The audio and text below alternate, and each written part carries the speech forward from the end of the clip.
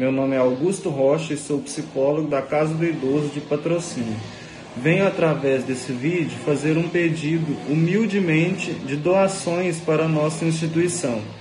Estamos em falta de alguns itens aqui na casa, sendo eles sabonete líquido, papel toalha, desodorante spray, desinfetante, saco de lixo de 100 litros, creme corporal, fraldas geriátrica M, G e extra GG e fraldas em formato de calcinha M, G e extra GG.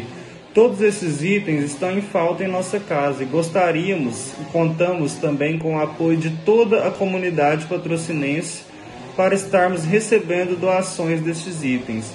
Muito obrigado a todos que se sensibilizarem com a nossa causa e até mais.